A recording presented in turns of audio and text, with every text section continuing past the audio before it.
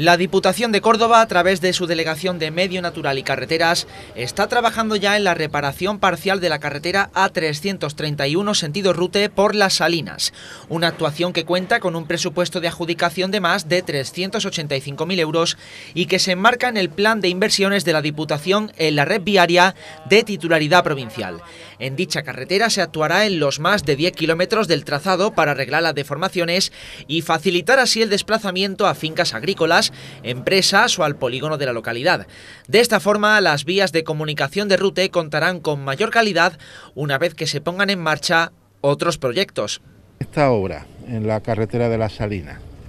con la obra que se va a cometer también, que ya está adjudicada en la carretera de las Erillas, la que une Llano de Don Juan con Cabra,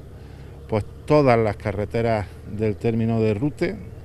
las que son competencia de Diputación se quedan en un estado inmejorable. El también alcalde de Rute visitó otras intervenciones financiadas con fondos provinciales. Ruiz estuvo acompañado por el delegado de Medio Natural y Carreteras, Francisco Palomares, quien recalcó la idea permanente de la Diputación de buscar la vertebración eficiente de los municipios cordobeses.